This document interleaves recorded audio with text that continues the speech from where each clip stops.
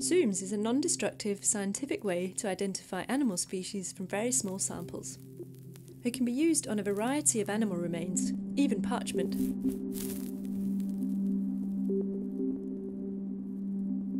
Sampling parchment is easy.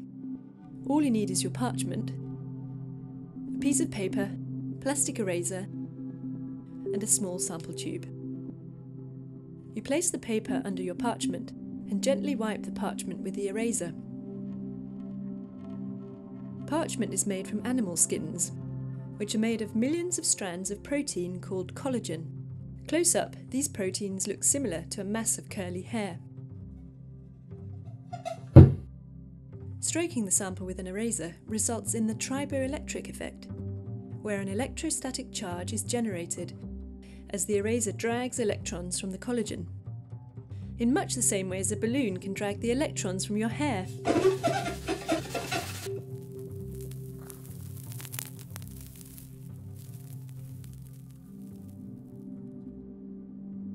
The sampling is extremely gentle, as most collagen fibres fall back to the surface. It's only the strands that are already loose that become wrapped up in small fragments of eraser that slide off and roll up into tiny scrolls. It's this eraser waste, or erdu, that's collected and then sent away for analysis.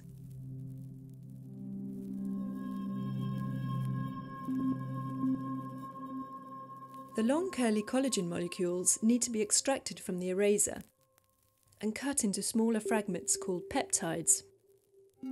This is done by adding a small amount of an enzyme, trypsin, the solution is mixed and incubated at 37 degrees Celsius for 4 hours, allowing the trypsin to digest the collagen strands into peptides.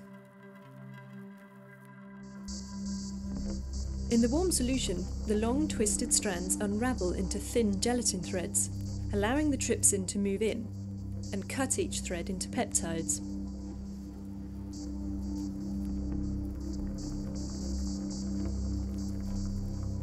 After digestion, the peptide rich liquid is acidified and separated out from the eraser particles. Finally, the solution is filtered to remove contaminating particles, leaving a pure acidic peptide solution.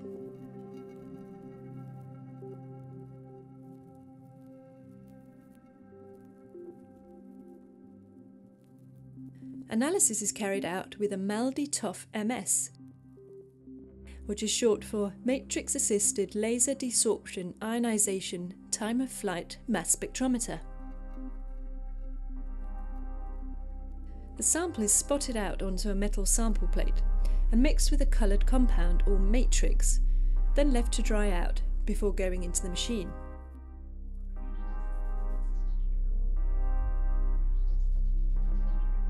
As the solution dehydrates, the matrix crystallizes around the peptides. A laser is then fired very briefly at the sample. The matrix absorbs almost all of the energy and is vaporized, releasing the peptides in a cloud of molecules.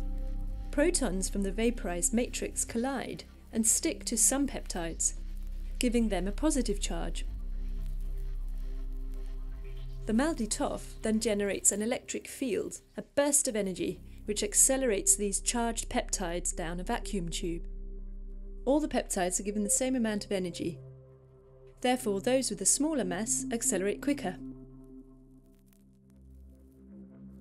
The peptides are reflected toward a detector by an ion mirror, increasing the distance the peptides travel. This increases their separation with larger peptides arriving later than the smaller ones. The time of flight to reach the detector corresponds to the mass of the peptide, and the resulting image is a series of peaks indicating both the mass and the intensity of the detected peptides. Each sample provides a unique fingerprint, and by comparing results to an expanding database, it's possible to make a secure ID of the species origin of the sample. The more this database grows, so too will the ability to identify the type of animal used to make the parchment.